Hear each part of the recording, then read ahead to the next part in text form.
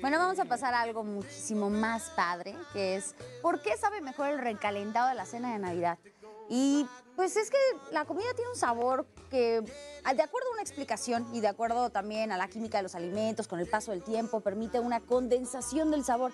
De acuerdo a los expertos, entre más tiempo pase desde la preparación de la comida hasta el momento en que la comemos, la concentración de los ingredientes adquiere una mayor presencia de sabor al guiso.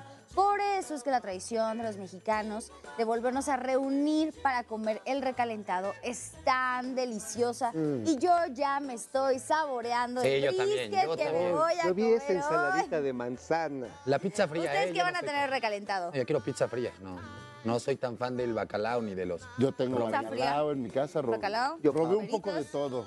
Robé un poco de todo también. El que nunca pavo queda es el pavo, ¿verdad? No, sí, el pavo. siempre se acaba. No, sí hay. Pues yo tengo Sí, dos hay. pavos. ¿Cuántos preparan en tu casa? ¿Dos? Dos pavos. Es que en mi casa Uno de y seitan, tengo un que es vegano. adolescente que es mi hermano, no, hombre, No, no deja.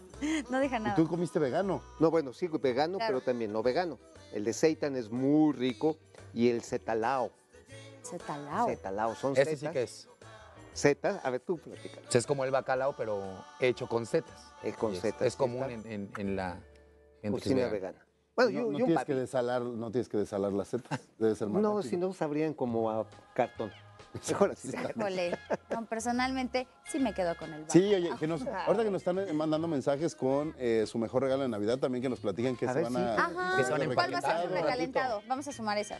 Sí. Bueno, también se debe tener cuidado de que no se haya dejado pasar tanto tiempo para el recalentado, chicos. O sea, hoy, Un mes, ¿no? así como que digas, pues me echo 6 de enero, no, semana, Pues no. Sí. Y esto porque pues, los alimentos comienzan a descomponerse, pueden ocasionarnos una intoxicación alimentaria. Entre más tiempo pase desde que se cocinó esta comida, pues el alimento está expuesto a bacterias, agentes Ujú. microbianos que puede causar una infección estomacal. Y ahí sí, Dios Padre que te cure porque Sí, no. es horrible. Año nuevo en el hospital no debe ser lindo. Año Nuevo en el hospital no, es No, la mejor de, no, no, de- no. de- de los planes, la verdad.